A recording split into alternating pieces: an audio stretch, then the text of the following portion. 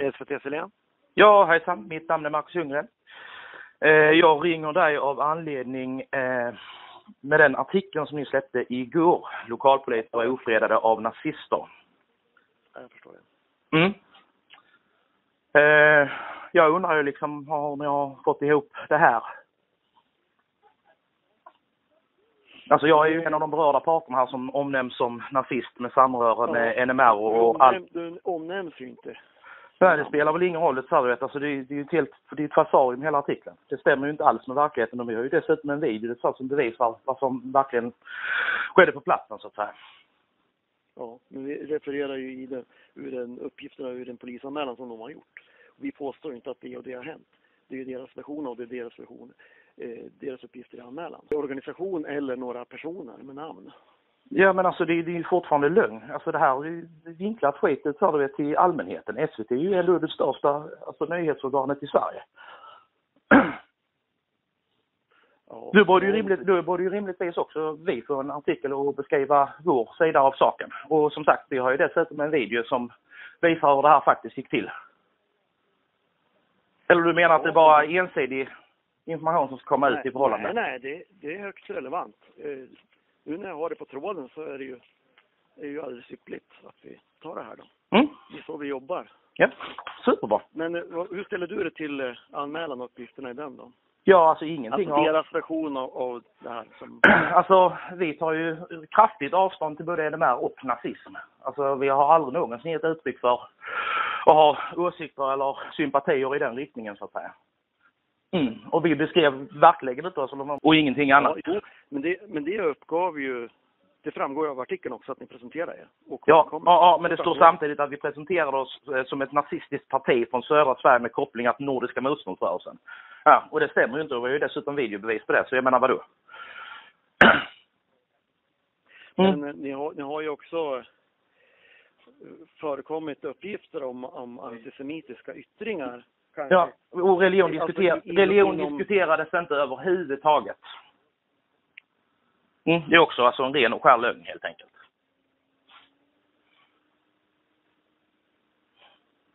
Jag antecknar. Det är därför jag är tyst. Eh... Jag kan naturligtvis skicka filmen till dig, fast du ju själv titta. Får du ju själv avgöra det, vad, vad som har blivit sagt och vad som inte har blivit sagt och vem som står far med lögn och vilken som inte gör det. Jag har eh, ett klipp som någon har skickat till mig. Jaha. Att, det är väl lite ja, drygt? det är från det att, eh, det är från det att eh, diskussionen mellan Mattias Andersson och eh, först och Ingeborg Wiksten inleds. Så jag vet inte om det finns något innan det, men sen är det ju ända fram till det att kameran stängs av. Ja, precis. När vi åker därifrån. Vi gick fram med vår kamera, vi satte på kameran och när vi åker därifrån stänger vi av den. Mm. Ingenting annat har yttrats utanför kameran så att säga.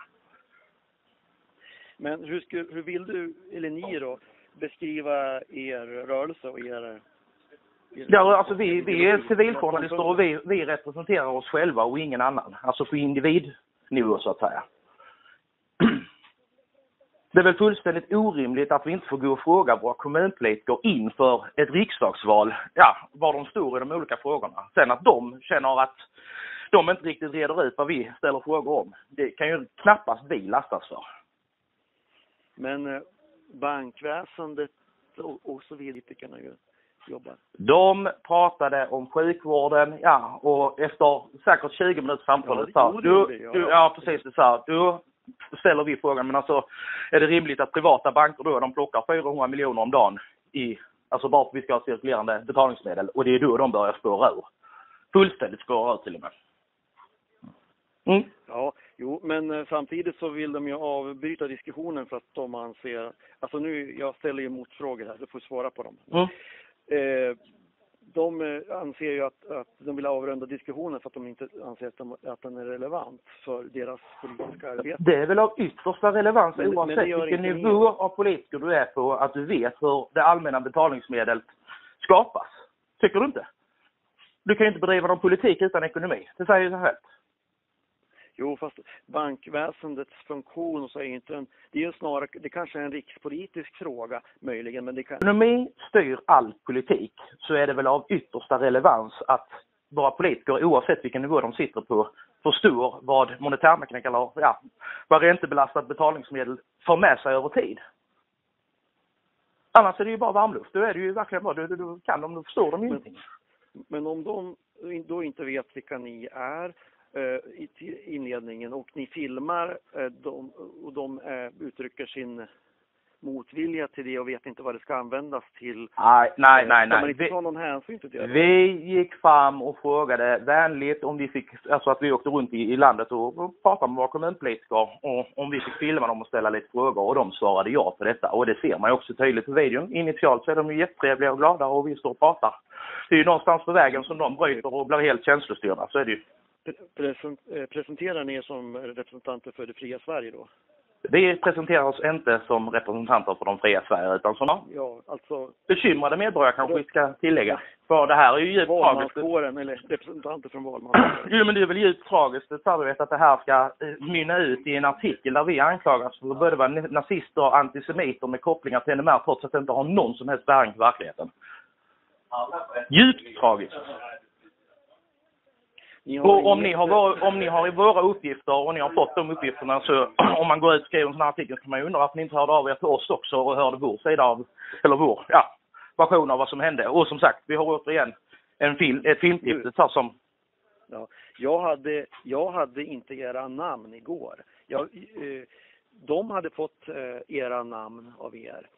Och, och de visste också vilken organisation som ni medlemmar i vart fall. Sen om ni, om ni så att säga, formellt då, sa sig företräda dem, den rörelsen vid det här tillfället eller inte, det är en sån.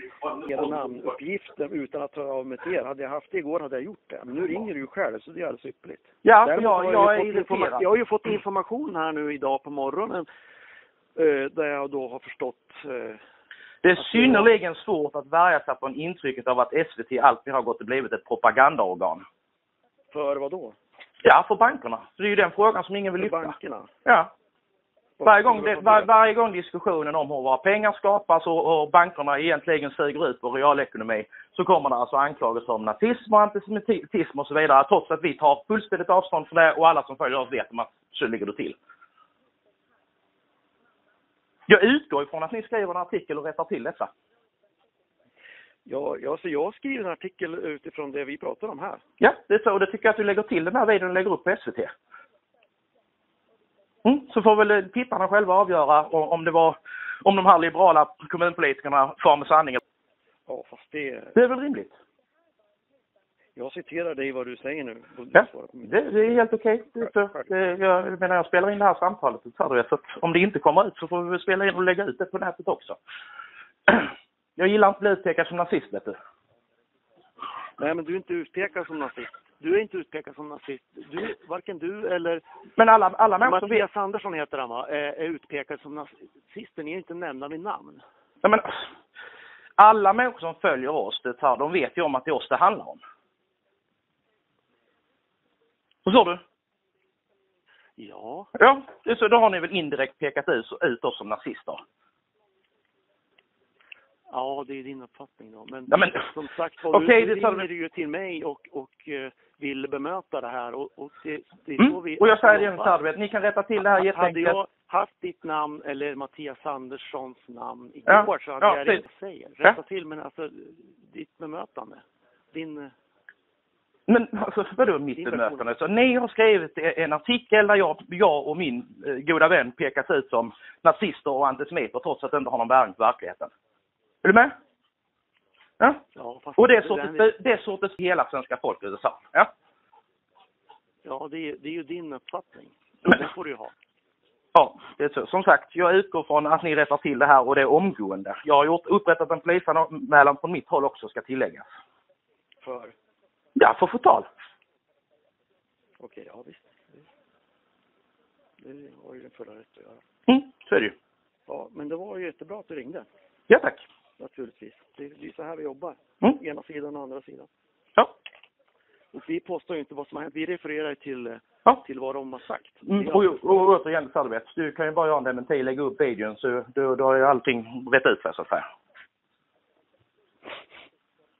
Ja, eh, jag... Eh, mm, du har ju videon, det säger du själv ju.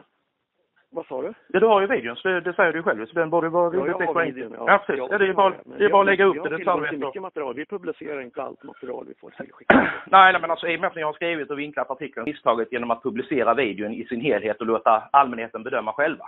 Så att inte folk tror att det springer runt nazister i varje liten krok liksom. Är du med? Om ni inte vill göra det, det tar du vet, så framstår SVT som ett propagandaorgan och ingenting annat. Propagandaorgan för vad då? Ja, Men det är ju redan sagt liksom. Ja. För, för banksystemet? Ja, alltså vi ju anklagade det sa, för att vara just nazister och antisemiter för att vi ställer frågor om det valutafinansiella systemet. Är du med? Det här är inte första gången som vi blivit utsatta för detta. Det är första gången som SVT skriver om det. Ja. Men det är inte första gången som vi blir anklagade för både det ena och det andra. Vi börjar bli ganska trötta på det här nu helt enkelt. Ja, men det var jättebra att du ringde. Jag ska skriva en artikel. Ja, tack. Okej, det är bra. Hej. Eh, du ska vi se. Mattias Andersson. Lundgren. Och- Mattias Andersson, Marcus Ljunggren. Men du är Marcus. Ja. Och då ska vi se. Du... Då skriver du Marcus med C då? Ja, ja. Och eh, Ljunggren som det är inga konstigheter. Nej. Ja, det är bra. Ja. Men eh, du, du, är- du och Mattias Andersson var alltså inte i stöde vid det här tillfället som företrädare för... Vi var där som individer och rörelse. civiljournalister och ingenting annat. Vad sa du? Vi var där som civiljournalister och individer och... Journalister? Ja, visst. Okej. Ja, men då så. Det är bra. Ja, tack. Du ska tack. Jag väntar på dementin.